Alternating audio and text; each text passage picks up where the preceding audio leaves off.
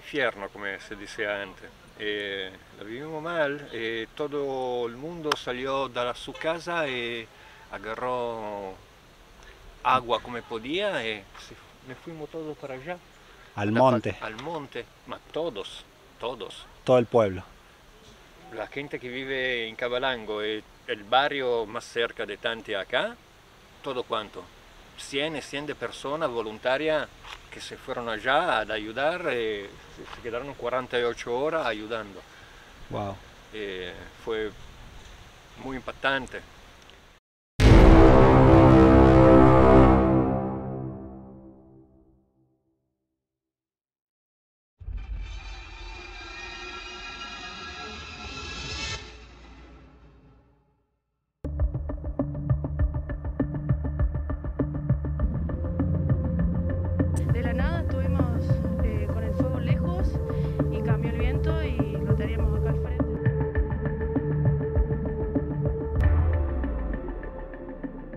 Impresionante.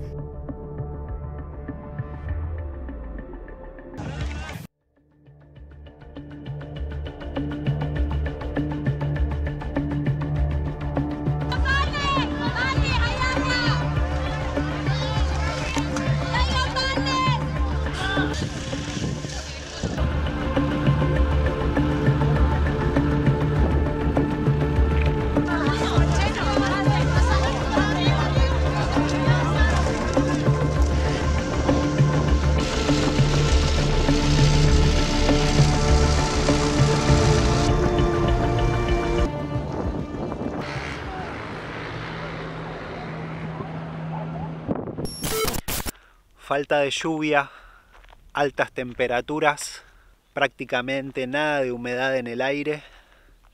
Era un cóctel explosivo. Hacía falta solamente una chispa para prenderlo todo. Y eso pasó. Así quedaron las sierras en algunas partes, muchachos. Estoy en el Valle de Punilla, epicentro de los focos más fuertes que hubo durante esta semana en las sierras de Córdoba.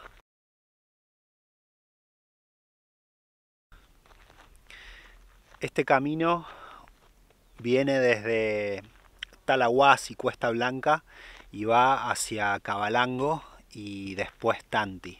Es un camino de ripio y esta es una de las zonas que estuvo afectadas. Quiero llegar desde acá hacia Cabalango, un pueblito de 800 habitantes aproximadamente, que el día martes pasado de esta semana tuvo que ser evacuado toda esa gente hacia Tanti por el peligro del fuego inminente. Las llamas estaban rodeando al pueblo, así que tuvieron que evacuar. No es que esté todo quemado, en realidad es por partes, hay como algunos manchones quemados y otros no. Acá lo podemos ver perfecto, por ejemplo, de este lado. Sí se quemó, se quemó todo esta ladera de Sierrita. Pero de este lado, en cambio, no pasó nada, está todo verde. Calculo que fue el viento que hacía saltar los focos en determinados sectores y en otros no.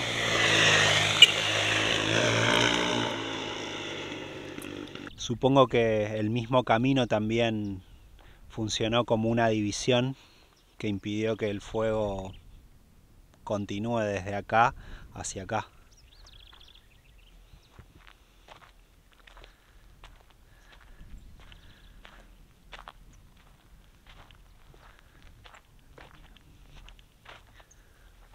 Hola niña. ¿Cómo estás?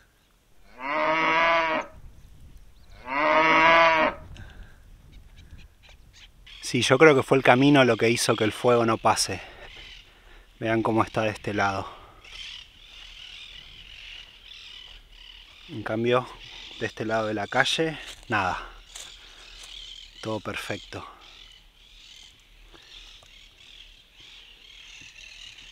El lugar es hermoso. Nunca había hecho este camino, es la primera vez. Y me está enamorando, a pesar de que de este lado tenemos una postal muy triste. Pero todo esto se va a recuperar. En un par de años esto va a estar todo verde de nuevo.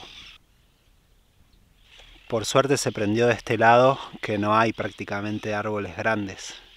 Si se hubiese prendido de este lado, la pérdida hubiese sido mucho más grande porque vean esos árboles. Deben tener 30 metros de altura.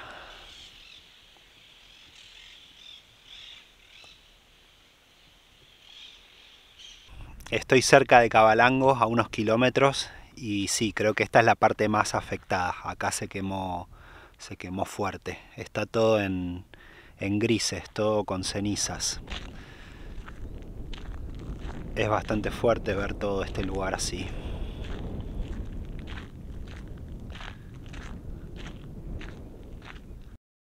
Hubo varios focos. va, en realidad lo que, que hicimos nosotros fue mm, el tema de campo, no, eh, digamos el campo corre. Lo que tratamos de haber, digamos, de proteger fueron las casas. Porque, ¿qué pasó? Fue muy grande el incendio y, viste, donde arrancó de acá fue por todas la- las comunas y municipios, de Cuesta Blanca, Talahuasi, Chocruz, Mayú y San Antonio. Agarró todo. Y se fue para Carlos Paz. Ajá. Así que sí, lo que hicimos acá fue, bueno, algunos días, los días que hubo más viento, más calor, que el, el fuego es muy fuerte, Ajá. eh, tratamos, lo que tratamos de proteger fueron las casas, principal. Porque por campo tuvimos que dejar que corra. no Ahí se encargó el, el avión y demás. Sí, ahí se encargó más el avión, los helicópteros, porque lo que nosotros hacemos es mojamos los perímetros, los paramos, paramos el fuego en algunas calles, el tema de eso es algo ancho, para que no trate de cruzar para otro lado. Claro. Bueno, viejo, no te robo más tiempo. Muchas gracias. Igualmente. Que andes bien.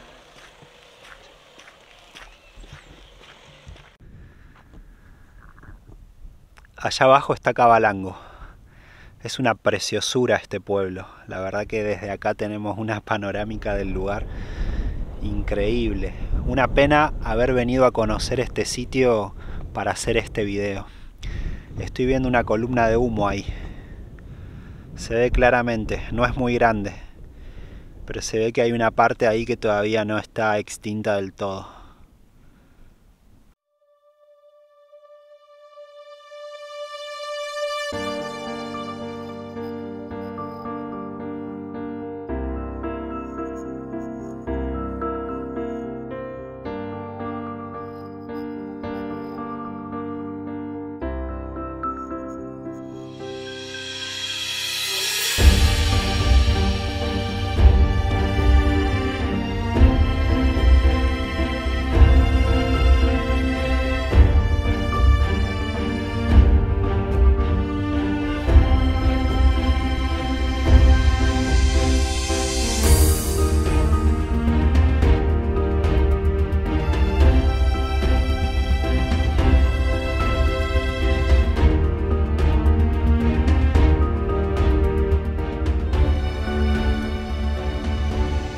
Las advertencias son claras. Muy bien, ya estoy en Cabalango, acá al lado del río. Y es cierto que el video del día de hoy la verdad que es muy triste. Estamos tocando y mostrando una realidad de las sierras de Córdoba, una de sus caras más angustiantes que tiene que ver con el fuego y con los incendios que lamentablemente año tras año siempre algún foco en algún rincón de las sierras eh, sucede. Sin embargo, a pesar de eso, la verdad que estoy muy contento de haber venido a este lugar que no conocía, Cabalango.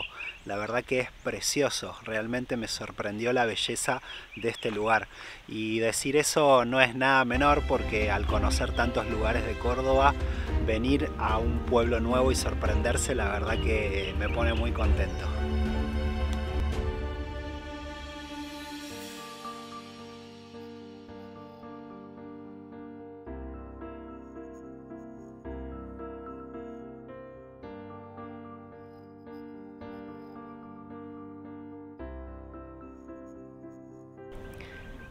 Así son las calles de Cabalango. Por ahí abajo está el río.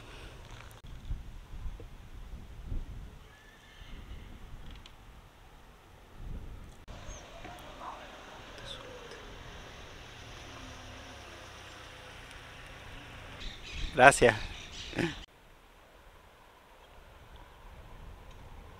Este pasillo me llamó la atención. Voy a ir por acá. Estoy en busca de alguien, algún poblador, alguien de la zona que quiera hablar. Ya intenté con un par de personas, pero no se animaron a salir en cámara y bueno, los entiendo. Mucha gente tiene vergüenza a salir en un video.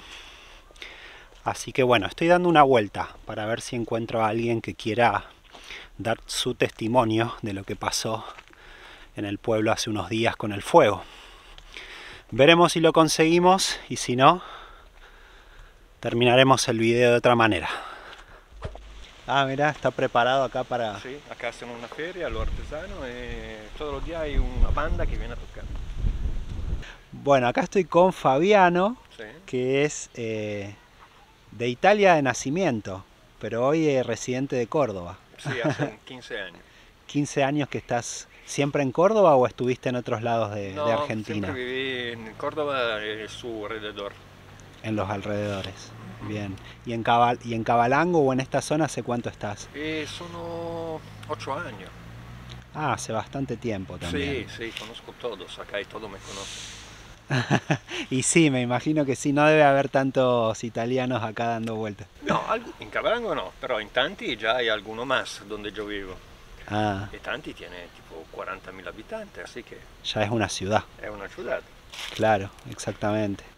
Bueno, Fabiano, yo quería, estoy haciendo un video sobre el tema de los incendios que pasaron esta semana y bueno, me interesa que le cuentes a la gente un poco cómo lo vivieron acá en, en el pueblo, cómo fue ese día de ese día de furia, ¿no? Un día de furia totalmente, un, un infierno come si diceva antes. E la vivimos mal e todo el mundo salió da su casa e agarró agua come podía e se- ne fuimos todos para allá. Al monte, Al monte, ma todos, todos. todo el pueblo. La gente que vive in Cabalango e el barrio más cerca de tanti acá, todo cuanto. 100 y 100 de personas voluntarias que se fueron allá a ayudar, eh, se quedaron 48 horas ayudando. Wow. Eh, fue muy impactante sí, para todos nosotros porque el miedo era grande, porque el fuego se veía bajar por la montaña y cuando cambió el viento se vio bajar muy rápido y no se podía creerlo de cuánto, cuánto rápido era la cosa. claro. Todo muy preocupado con... eh, Cambió el viento y se vino el fuego con todo. sí, eh, ya sabíamos esto porque a las 6 de la tarde viene siempre viento sur acá. Ah, es, es normal que a esa hora haya Sí, viento sur. A la noche hay siempre viento sur y, y se vino todo para acá. El fuego pasó da, dalla montagna da, per allá y Costa Blanca, Icho Cruz, eh, Talahuasi y se vino todo para acá. Ajá. Y estábamos, estaban bomberos a todos lados. Vinieron hasta da, da La Rioja. Wow. Sí, leí por ahí que aproximadamente mil bomberos estuvieron trabajando. Sí, eh, o sea que 100 y 100 de voluntarios. Tengo una amiga que cocinaba para los bomberos, ha cocinado por 48 horas sin parar, wow. porque había para atender miles de personas. Claro, claro, exactamente. Bien. Y vos puntualmente trabajás en el camping acá Yo de trabajo acá en Cabalango. Cabalango, en un camping, sí. Hay varios campings en Cabalango, pero en uno eh, provamos a salvarlo en alguna forma da- dall'eventuale incendio. Pasamos toda una tarde hasta las 11 de la noche regando todos los árboles, la planta, para evitar que el fuego, porque llegó hasta el puente el fuego. El puente que vos pasaste per- llegando a Carlos Paz. que cruza el, fuego. río. Exacto. Wow. Llegó O sea, ahí al borde. y atrás de la iglesia. El predio de la iglesia es el predio donde se hacen toda la fiesta gaucha, la fiesta del Peperina, todo. Ajá, es un lugar importante para este pueblo. seguro. Questo è un pueblo gaucho, Cabalango. Sí, No sé sí, si sí. te diste cuenta, ma hay más caballo que auto. Bueno, no lo conocía y lo que hablábamos también recién me sorprendió lo bello que es este lugar. Es, es hermoso. Sí, es muy cuidado, muy cuidado. Eh, Esperamos que quede así. No permiten de construir mucho. Ajá. Ya Es- construyeron demasiado. Pero ahora parece que pusieron un freno. en estos ocho años creció el pueblo desde que vos Se lo conociste. multiplicó, Ah, se multiplicó. Per la ruta non había una casa. Da acá a Tanti non había una casa. Ahora son todas casas una tras de la otra. entiendo. Se multiplicó, se multiplicó, multiplicó. Es un lugar que hay que tutelar, como todos los lugares, no solo este. Hay que cuidar estos lugares donde uno vive. Ujú, Claro. Seguro. Tenemos un planeta, Uno solo, uno solo, non tenemos, per il momento non tenemos otra opción. seguro. Puede ser en 200 años. Ahora, Ahora tenemos este. este yo lo quiero, lo quiero mucho. Ajá. Le hago de todo para él. De todo. Y algo que quería preguntarte sobre el tema, volviendo a lo del incendio, em, leí que evacuaron a los habitantes acá de Cabalango, que los Algunos- llevaron creo que para Tanti, ¿puede ser? ¿Cómo fue Sí, eso? algunos lo evacuaron, toda la parte que está ahí alrededor de... No sé si sabes dónde está el complejo Pirén, veniendo a Carlos Paz, hay un complejo grande y un camping grande, uno al frente del otro. Ajá, E de ahí para abajo y per la parte del río que viene da Flor Serrana, ahí también eh, evacuaron mucha gente. Mm, mi cuñada la evacuaron con su marido que vive, no sé, de acá será un kilómetro. Han, han tenido que irse por la duda, claro, por la duda. Y ahí es la parte más antigua del pueblo, hay casas que tienen más de 100 años. Un pueblo de, de gente que cultivaba y que tenía ganado, claro. así que se ponían Sí, sí, sí. un poquito para acá, un poquito para allá. Dispersos estaban, Exacto, no tan concentrados. exacto. La concentración estaba allá y después había casita para todos lados. Y ya esto se perdió todo. Pero sí, evacuaron gente.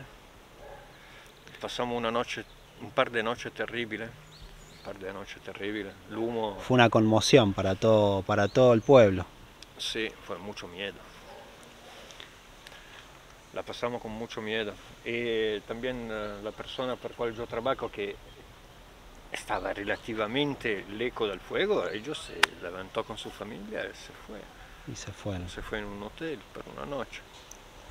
Y sí, por las dudas. Por la duda, yo, yo me quedé en la casa porque sé que cuando pasan esta cosa hay algunos imbécil que aprovechan que la gente se va per saquear. Claro. También estaba ese miedo de Exacto, que al que dejar no las casas solas, Dejar la casa sola, la gente no sabía si irse porque se me voy, me vienen y me saquean. enti- o sea que mucha gente se eligió quedarse también. Muchas sí, per il miedo che, che, che le roben. E è intendibile la cosa, eh? Sí, sí, sí. ¿Y supiste de si hubo robos y esas cosas esa no, noche o no? un amigo me contó que él estaba para irse, y había en su cuadra una moto que iba adelante atrás mirando toda la casa y eligió Mm. quedarse. Estaba sospechoso ahí. Sí, estaba muy sospechoso. y dice, no, no, nunca lo vi, esto loco. e- Sí. Podía pasar cualquier cosa. Y sí, hay, esto son lo peor de todo. Sono, sí, estos son lo peor de todo. Se aprovechan del, momento malo de la gente para quitarle el poco Claro. que tienen. Para algunos en la tragedia surge la oportunidad también. Sí, sí. Pero espera que lo encuentren después, a ver qué oportunidad le dan. Claro. Porque después ya hacen pagar. Acá, como todo lo pueblo, tiene, como los pueblos pequeños tienen como una pequeña ley interior Sí, que se hacen un, un autojusticia eventualmente. claro. Es- podría haber pasado algo malo. A alguien que va a robar lo, lo, lo cagan a trompar. Y sí, lo, lo linchan, como se dice, como se dice acá. Eh, Sí, hay la posibilidad que... eh, per suerte non passò nada, per suerte non passò nada e tampoco muchos animales de ahí que yo sé quedaron quemados, pero muchos se quedaron desplazados, no tienen más un lugar donde vivir. Claro. Sí, Eh, sí, sí. Es una, una tragedia en muchos sentidos, para los animales también. Para claro los que sí. animales es una tragedia total, sí, es muy... Me da mucha lástima el que pasó. Cuatro años atrás, cuando ha habido el otro fuego, se murieron miles de animales. Todo, tipo, todo tipo de bichos, dal qui a, a- A sea, vacas, todo. a vaca, a caballo. Claro. Fue un desastre, un desastre de verdad. Y toda la ave han tenido que encontrar nuevos lugares. El terreno donde yo vivo ahora está lleno de aves. Yo agradezco esto, pero no, no tendría que ser así. Claro, no tendría que ser así.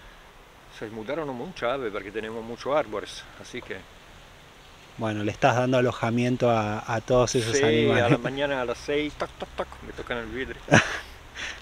No hay, no hay necesidad de despertador. No, sale un rayo de sol y me toca el vidrio. Wow. Y hasta que no me levanto y abro la ventana, sigue. ¿eh? Mira vos. Sí, terrible. Fabiano, ¿y vos de dónde naciste? ¿En qué ciudad? Yo, yo soy de una, soy nacido en Milán, En Milán. pero vivía en los Alpes, en un lugar, un pueblo en la provincia de Trento. Wow. Trento è al nord di Venezia, alla frontiera con Austria. Wow. Mm, Naturaleza increíble también por esos lados. Ahí sí, ahí por ejemplo se pasa algo así, a la persona que, que la agarran y la hacen pagar todo. Después hay mucha, mucho cuidado por la naturaleza, porque ya la hicieron tan, la destruyeron ya tanto en Europa que ahora están probando a recuperarla toda.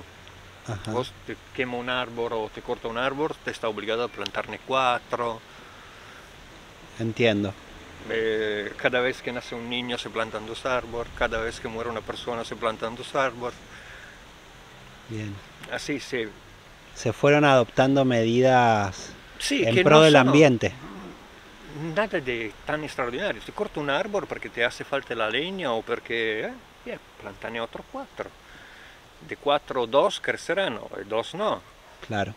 Pero sigue Una Había- forma, una forma de, bueno, de, a reforestar. de reforestar.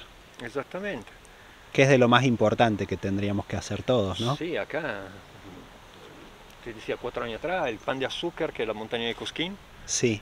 eh, esa era la donde estaba todo el espinillo autóctono de Córdoba. Ah, no sabía. Se quemó completa la montaña. No Ah. quedó nada, Claro, yo la subí a principio de año y no vi muchos árboles, no vi casi, ¿no? Porque tiene que crecer. no sabía eso.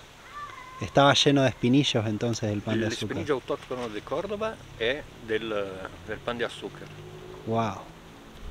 Eh, quemar todo esto, que es la reserva que tenés de un árbol maravilloso que larga un profumo que, Sí, sí, sí, sí, sí. que no se puede creer. No, no, eso es terrible. Esperamos que, que no pase más, que empiecen a aplicar la ley en lugar de hacer la ley y nunca ponerla en, en práctica. Porque hay una ley de bosque que ahora que se te quema un árbol, no, se te quema, un terreno, no puedes explotarlo por 90 años y no puedes tampoco venderlo. Sería se importante, ley- sería importante que se aplique de verdad. Sí, nadie más anda a quemar, ¿eh? Se termina toda la especulación. Exactamente.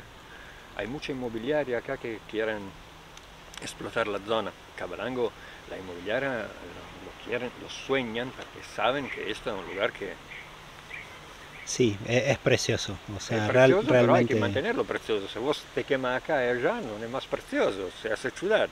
Diviene ya es pegado a Carlos Paz. Eh, Después diviene un barrio de Carlos Paz. Sí, sí, sí.